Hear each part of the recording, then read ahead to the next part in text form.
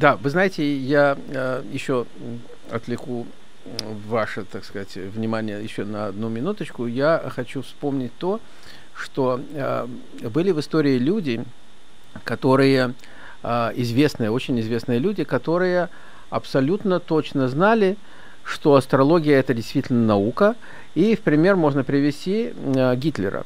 У Гитлера был собственный астролог, которому он очень и очень доверял, и он никуда без него, без его советов никуда не ходил. А когда-то действительно, э, ну Гитлер почему это делал? Потому что он, кстати, был очень э, серьезным последователем э, ведических знаний, правда, которые он извратил, это мы все знаем, понимаем. И вот э, чем закончилось сотрудничество этого астролога с Гитлером, э, он его расстрелял потому что э, астролог ошибся на один день, э, когда они, так сказать, вот сражение э, за взятие Москвы было, и он ошибся на один день потому что если бы он не ошибся, ничего не известно, как бы это все повернулось. Ну, что-то было бы, все равно известно, как, естественно, как бы это повернулось. Но, тем не менее, а, были люди у Александра Македонского был астролог, у многих э, великих людей были астрологи. Э, и сейчас, кстати, они есть, астрологи и экстрасенсы, просто об этом никто не говорят.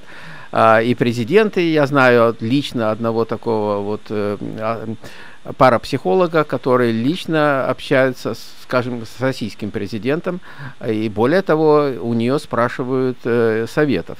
Вот, я лично общался с этим человеком, э, и даже был у нее дома. Вот, это очень интересная э, вещь. Василина, скажите такой, вот у меня к вам вопрос. Вы, вот если мы говорим о болезнях, скажите, в карте человека ведь они тоже как бы видны, да?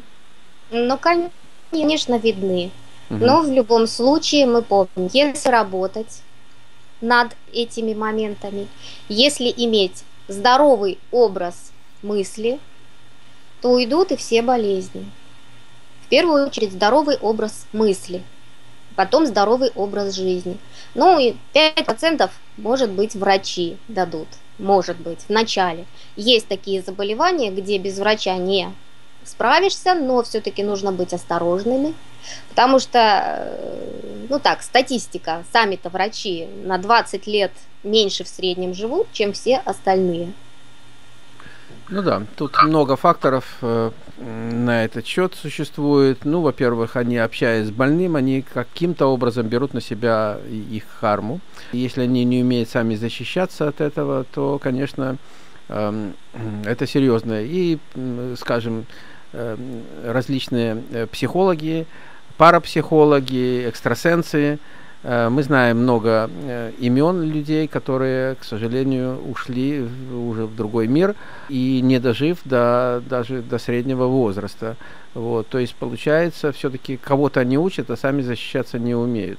Ну, это реалити нашей жизни, скорее всего. Хорошо. А что бы вы рекомендовали людям, э, вот начиная с завтрашнего дня, сегодня уже, так сказать, прощенное воскресенье, а завтра уже пост начинается, как себя вести и в свете вот э, астрологии? Ну, во-первых, э, что касается поста и питания, я бы все-таки рекомендовала ограничить себя в белках. А, ну и приведу пример, почему. А, мы разбирали гороскопы долгожителей – и сравнивали гороскопы э, именно религиозных людей, э, монахов, э, кто прожил тоже долго. У всех одно и то же в карте.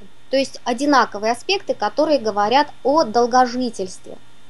То есть эти люди себя ограничивали и, конечно же, религиозные деятели соблюдали посты. То есть их долгожительство – оказывается именно в ограничении чего-то. То есть они излишествовали, не переедали, э, не перепивали, не перенасыщались удовольствиями, а э, были, а, ввели ограничения. Но и с точки зрения медицины а, периодические ограничения в белке очень полезны для костной системы. Есть белок э, загущает кровь, и именно к позвоночнику, вот, например, либо каким-то суставам не недостаточное кровообращение, а нужно оздоравливать именно костную систему. Долгожители, здоровые, все имеют первую очередь здоровый опорно-двигательный аппарат. Позвоночник, суставы, косточки. Помните, как в старину Э, ну, в первую очередь зубы смотрели у лошади, например, да? Там рабов не будем приводить пример. Да, я только Но хотел здоров сказать. или нездоров угу. человек, зубы. А зубы это показатель костной системы. Хорошие зубы проживешь долго. Поэтому соблюдайте по мере ваших возможностей пост. Это важно, и это э, подтверждает и астрология, которая говорит, что да, долгожители должны соблюдать пост. Кстати, э, люди, которые Гадный Ленинград прошли, у них тоже есть вот этот аспект. Они ограничивали себя, и они после окончания войны продолжали как-то экономить. Ну, то есть где-то на психике отложилось, они там и сухари долгие годы сушили, и ограничивали себя, и прожили очень долго. По-моему, и сейчас есть эти люди. А, то есть с ними можно пообщаться, спросить, в чем же секрет их долгожительства и их здоровья на сегодняшний день. Поэтому соблюдаем пост. Верим мы или не верим, если мы хотим быть здоровыми. Вот, ну а если я ошибусь на один день, на следующую неделю где-то в своем прогнозе, надеюсь, меня никто не расстреляет, как Гитлер своего астролога. Ну, вы уже попросили прощения, поэтому не переживайте на этот счет. А, Мы значит, вас уже простили. Авансом. Авансом. Авансом, да. Ну вот, об опорно-двигательном а, аппарате поговорим и про понедельник. Вот чем отличается день. Это начало поста. Кто умеет думать, проведите аналогии какие-то. Так вот, этот день отличается большим количеством переломов, а, большим количеством падений и, а, возможно, каких-то травм именно ноги, руки, позвоночник, косточки. Вы С чем име... это и да. Я прошу прощения, Василина, вы имеете в виду конкретный понедельник, который будет завтра? Да, да, да. Угу. Именно завтрашний день, 14 число. Угу. Поэтому нужно быть осторожными. А с чем это может быть связано? Плохие погодные условия. Большое количество подскользнулся, упал, либо сильный ветер, либо аварийные ситуации частые на дороге, туман. То есть вот меняется погода но и нужно учитывать, что что-то может где-то падать, разрушаться. Еще э, небольшое уточнение. Это касается э, какого континента, какого региона, если это, скажем, по это, стати... это статистика по планете. По Такая планете астролог... в целом, да? Да, астрологическая mm. статистика по планете. Такое большое количество травм опорно-двигательного аппарата может говорить еще и о том, что сейсмическая активность на ближайшие сутки, вот сегодня уже пошли вечер, а, у нас вечер, ночь и понедельник, то есть будет высокая, возможно, где-то произойдет землетрясение. Я смотрела, а, мне не понравилась э, Южная Америка, Чили, Перу, Боливия и Парагвай, а, вот эти вот страны. То есть там какая-то очень напряженная ситуация. Помню, что там где-то наводнение. А, там, где наводнение, скорее всего, сильного землетрясения не будет, потому что уже реализовалось. Но нужно иметь в виду этот регион. Центральный Китай, а, Таиланд, Индонезия. Вот эти вот э, страны выделить можно именно как сейсмически активные регионы на завтрашний день. А насчет, И... насчет США? Да? Есть что-нибудь э, у нас э, в Соединенных Штатах? Нет, нет, у вас нету. У вас только э, наводнение аспект уже уходит. Уходит потихоньку, смещается напряжение на запад, но это не землетрясение. Угу. Нет. Но с чем мы можем столкнуться завтра еще, кроме землетрясений? Мы можем увидеть, как разрушаются здания.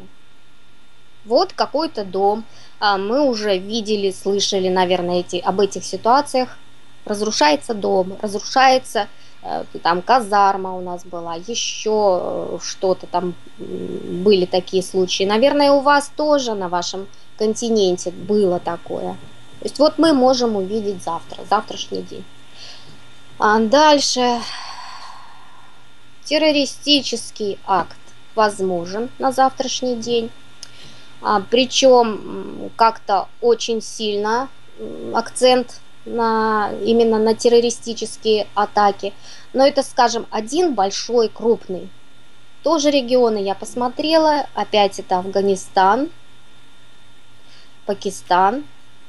Там возможны такие атаки. И а, в дни, когда происходят террористические такие акты серьезные, то и обостряется ситуация а, в регионах, где ведутся боевые действия. То есть террористы, они и в Африке террористы, везде, понимаете?